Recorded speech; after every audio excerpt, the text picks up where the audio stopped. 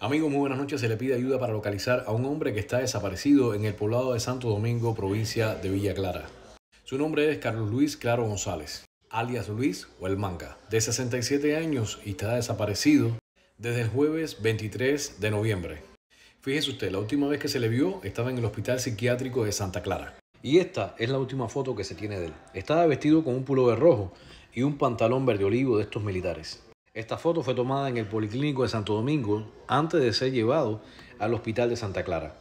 Sin embargo, a pesar de estar enfermo de los nervios, no es una persona agresiva. Por tanto, si usted le ha visto en algún lugar, por favor, comuníquese con las autoridades y también con la familia, porque le están buscando desesperadamente y además están preocupadísimos qué pudo haber pasado. En esta foto, por ejemplo, se le aprecia en un estado de crisis.